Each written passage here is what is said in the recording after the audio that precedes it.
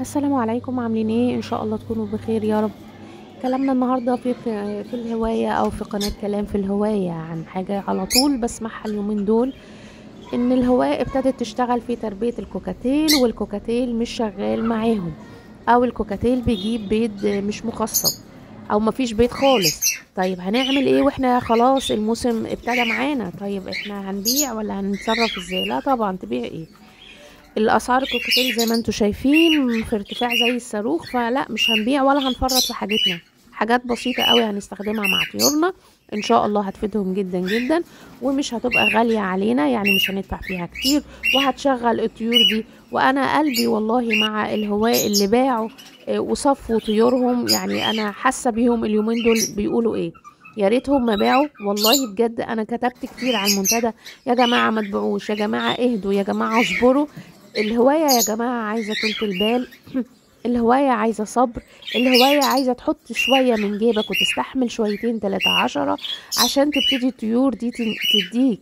طول ما انت بتدي الطيور طول ما هي بتديك. أحيانا بندي الطيور أكتر ما بتدينا بس برضو بترجع تدينا تاني.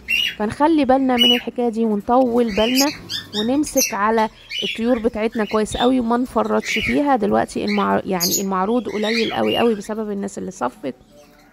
والكلام ده كله. فالأسعار ابتدت تزيد والهواء اللي عايزة تلم طيورها من أول وجديد وتعمل مزارع من أول وجديد ابتدوا يجيبوا الطيور بغالي جدا جدا. القص دلوقتي وصل القص الشغال تقريبا وصل ألف جنيه يا جماعة. فانتم متخيلين اللي إحنا وصلنا ليه إيه؟ هو الحمد لله اللي, اللي مسك على الهواية بتاعته ومسك على طيوره ابتدى يظبط حاله معلش أنا لكيت عليكم في أول الفيديو. هنيجي للوجبة اللي هتقدمها لطيورك اللي ما هياش شغالة أو اللي هي البيض غير مخصب. وجبة سهلة جدا ومش هتكلفك كتير ولكن لازم تلتزم بكل كلمة هقولها دلوقتي. لو أنت فعلا عايز الطيور عندك تشتغل. الوجبة سهلة جدا جدا وفعلا بجد والله مش هتتكلف كتير.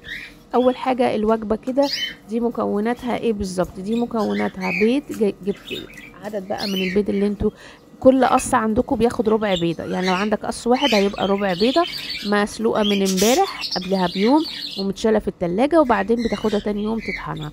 إيه هرجع لكم تاني لمكونات الوجبة بس هتكلم عن الإضافات. الإضافات اللي لازم ما, ما تسيبهاش ولازم تضيفها هي دلوقتي اللي هو موجود ده دلوقتي. ده عظم السبيت المطحون ده بواقي عظم السبيت اللي عندي باخده بطحنه وبحط عليه بيض مطحون بطحن برضو قشر البيض قشر البيض مش البيض المطحون قشر البيض وبحط عليه شوية ملح لأن أنا آه بعمل الملح بيوضع هنا كمادة حافظة كثنائي فوسفات الصوديوم لو كمان إن أنا عشان أزود عدد البيض وطبعا عندي فيديو في القناة عن ثنائي فوسفات الصوديوم إزاي ب إيه بستخدمه لزيادة عدد البيض وتشغيل النتايات اللي مش شغالة. فالعلبة دي مهمة جدا جدا إن هي تبقى موجودة عندكم. وأنا قلت لكم تفاصيلها وفي تفاصيل تانية عن علب تانية يطلع لكم في حرف الاي فوق يا جماعة فوق بصوا فوق كده هتلاقوا حرف مكتوب اي وفي جنبه فيديو. ده بتتكوا عليه تضغطوا عليه بيظهر الفيديو بس بعد ما بتشوفوا الفيديو الأساسي. طيب العلبة التانية دي كان فيها إيه؟ العلبة التانية دي كان فيها شوفان أو الخرطال مطحون عليه آه ورق الغار اللي هي ورق اللورة أو ورق اللوري وهنا أساسي إن أنا أحط ورق الغار أو ورق اللوري ولازم أطحنه وهتقولوا لي إيه فوائد ورق الغار أو اللوري؟ هقول لكم في حرف ال I فوق هيطلع فيديو عن فوائد ورق الغار أو اللورة للطيور. وكمان العلبة دي كان فيها برضو شوية ملح خفاف جدا وكان عليها شوية توم powder خفاف جدا وكان كمان عليها جنين القمح. وده أساسي أساسي إن أنت تستخدمه مع الطيور بتاعتك. وكمان كان عليها بقى هنضيف على الوجبة ما كانش على العلبة رشة من الجنزبيل. وهنا إن إحنا هنشتغل بالجنزبيل المرة دي مع الطيور لأن أساسي قوي قوي إن أنت تشتغل مع الطيور بتاعتك. لو في تريحة من البيض أو في البيض غير مخصب لازم هنشتغل بالجنزبيل الوجبة كان لازم يكون فيها الجزر الجزر بيشتغل برضو معايا معايا كمحفز طبيعي للطيور محفز جنسي طبيعي للطيور حلو جدا جدا لصبغات الطيور في مواد جوه الجزر بتبقى مهمة جدا لحماية الطيور والكبد بتاعها لأن برضو الطيور عندنا ممكن تتأثر بقلة بالبيض لو اللي هو الكبد تعبان.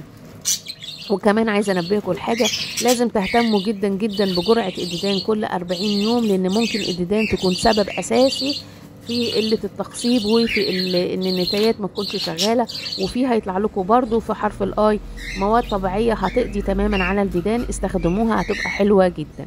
الوجبة دي برضو كان عليها شوية عيش كان يعني قديم عندي بس مش معلوش فطريات باخده أطحنه طحنة حلوة كسر كده خفيف وبقدمه هنا كده. يبقى أنا قدمت كمان قمح وقدمت ذرة وقدمت آه، اللي هي بكتيريا طبيعية اللي هي ال Lacteol Forte طبيعية مع البيض مع الجنزبيل. آه، مع عايزين تضيفوا بقى حبة مثلا آه، آه، رشة كمون خفيفة ضيفوا بس أنا ال- الوجبة دي للطيور اللي مش شغالة.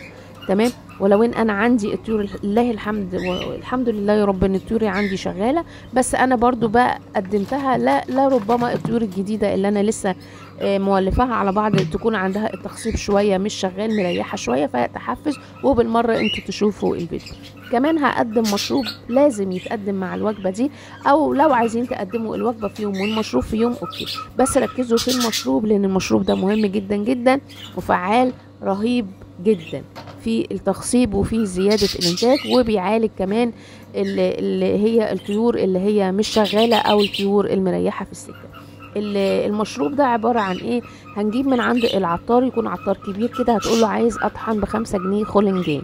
اللي ما يعرفش الخولنجان هو إيه يطلع لك في حرف الآي. فوق هو إيه يعني إيه وبنستخدمه إزاي. تمام كده؟ هاخد آه، ربع معلقة ممسوحة من المسحوق الخلنجان المطحون ده وهحطه على ربع لتر مية بالنسبة للطيور هضيف عليه إضافة كمان لازم هضيفها على الخلنجان وهي ربع معلقة ممسوحة على الربع لتر ده من الجنزبيل. الجنزبيل أنا هنا استخدمت الجنزبيل البودر حد هيطلع بقى ويقول لي طب ممكن أستخدم الجنزبيل الفريش؟ طبعا استخدم الجنزبيل الفريش بس خد بالك من حاجة إن الجنزبيل الفريش هتبقى أسفة قطعة فيها آه، ألياف. فالألياف مش هتدوب ومش هتستجيب للمية اللي انت هتحطها فيها فتاخد وقت طويل قوي عشان تطلع المادة النفاذة أو المادة الفعالة جوه القطعة دي. فاحنا هنستسهل الكلام يا إما هتاخد القطعة لو هتحطها فريش هتضربها مع شوية مية في الخلاط كده هتتفتت طبعا وتدوب وهتطلع المادة الفعالة فيها وهتضيفها لربع اللتر اللي إحنا آه، حاطين عليه اللي هو الخلونجين طب لو أنا هستخدم البودر هاخد ربع معلقة شاي صغيرة معلقة الشاي اللي بنستخدمها آه، ربعها ممسوح وهضيفها على المية اللي هي المية دي اللي هي فيها الخلنجان آه، هسيبهم بس عشر دقايق ياخدوا ويدوا مع بعض كده هكون أنا يعني يستحسن تكونوا رافعين المزاقي من قبلها بالليل. عشان الطيور تشرب. بس خد بالك ما تحطش المزاقي وقت ما ال- ال- الاسوس دي بتاكل لأن هتبقى عطشانة هتسيب الأكل وتروح تملأ الحويصله من المية. آه هي فيها فايدة بس أنا عايزاها تاخد من الاتنين تاخد من الأكل فايدته وتاخد من المية فايدتها. ف آه، حط المية أو حطوا المزاقي بعد المسائي بعد ما تبقوا آه، العصافير عندكم كلت. هتنزل بقى على المية وتشرب وتبقى كده 100 فل وعملت معاهم أنت شغل. فعلا دماغ رايقة ومركزة كده مع طيورنا الهواية يا جماعة عايزة صبر الهواية عايزة طولة بال. الطيور اللي مش بتنتج وتكون لسه جايبها ما تستعجبش إن هي ما انتجتش لأن هي لسه ما خدتش على المكان عندك. انت نفسك لو نقلت من مكان لمكان أو غيرت بعض العادات اللي عندك اللي متعود عليها لازم لازم هتاخد وقت عشان تتأقلم. فاصبروا شوية على الطيور اللي لو كنتوا لسه جايبين طيور جديدة أو لسه مغيرين أزواج جديدة مولفين أزواج جديدة أو ناقلين الطيور دي من مكان لمكان حتى عندك في غرفة التربية الكوكاتيل يا جماعة قلوق جدا جدا جدا. فاللي عايز ينتج من الكوكاتيل يكون عنده طولة بال ملاحظ كل حاجة في الكوكاتيل مراعيه كويس جدا ما يستعجلهوش ما تستعجلوش هينتج إن شاء الله. الحاجات اللي بنقدمها دي قوية جدا جدا للطيور. هنيجي بقى حد هيقول لي طب أنتي ما قلتيش الجرعة قد إيه من المشروب؟ الجرعة لو الطيور عندك عطلانة ومش شغالة هتحط تضيف المشروب ده مرتين آه، يعني في الأسبوع هضيفه مرتين ورا بعض وهتريح باقي الأسبوع وهتشتغل الأسبوع التاني بنفس الطريقة. وإن شاء الله قبل الأسبوع التاني ده ما هيجي بأمر الله هتكون الطيور عندك اشتغلت إن شاء الله. طيب الطيور اللي عندي اللي شغالة وصحتها بسم الله ما شاء الله والكلام ده كله قدمه مرة واحدة بس كل 15 يوم هيبقى زي الفل هيساعد على استم... استمرارية الإنتاج. سواء المشروب سواء الإضافات اللي ضفناها على الوجبة الاتنين حلوين مشوها بنفس الطريقة اللي أنا بقول لكم عليها. بس تكير أو خدوا بالكم من حاجة الوجبة بالإضافات دي ما تضيفوهاش لطيور معاها زغاليل يا جماعة. خلي بالكم أو طيور خلاص بيضه نخلي بالنا من النقطة دي لأن دي فيها محفزات كتيرة فيها حاجات مقوية كمان فيها مقوية كمان. فهتخلي الطيور زايفة جدا جدا وعايزة تنتج وعايزة تتكاثر والكلام ده كله. فأنت هتبقى بتأذي النتاية اللي بايضة وهتأذي الزغاليل اللي هي لسه فاقسة وبتاكل والكلام ده كله فمش هندي حاجة فيها الخولنجان والجنزبيل بالسبوت العالي دوت ليه الحاجات اللي شغالة عندنا. آه برضو مش هندي الجنزبيل نخلي بالنا وإحنا بنستخدمه كترته كتير. هتعمل التهابات في الحويصلة وهتعمل مشاكل كتيرة للطيور. الجنزبيل حلو جدا جدا. كمان هيشتغل مع باقي الطيور في تغيرات الجو اللي إحنا موجودين فيها دي. هيظبط شوية. لو في شوية برد لو في شوية حشرجة لو في ضيق تنفس هيظبط الدنيا. بمناسبة الزرع اللي أنا كنت بشاور لكم عليه دلوقتي أنا هنا كنت حاطة الزرع بس خدوا بالكم من حاجة إن في بعض الزروع اللي بنحطها بيبقى عليها بتبقى فيها مواد سامة ممكن تأذي الطيور فانا هشيل دلوقتي الزرع ده لأن أنا كنت حاطاه بس عشان عايزة أشعة معينة من خلال اليوم توصل له فأنا الحمد لله اتحصلت عليها. وهنا أنا بقول لكم هنا الحمد لله رب العالمين الأسوس اللي أنا ضفتها جديد من عندي برضو. الحمد لله يعني ولفتهم على بعض والحمد لله في منهم اهو خلاص البيت فقس. الحمد لله رب العالمين ربنا يرزق الجميع. وفي كمان لسه يعني أسوس تانية ابتدت تدخل العشوش. ولله الحمد. جربوا كل اللي أنا بقول لكم عليه صدقوني مش هتندموا على أي حاجة من دي.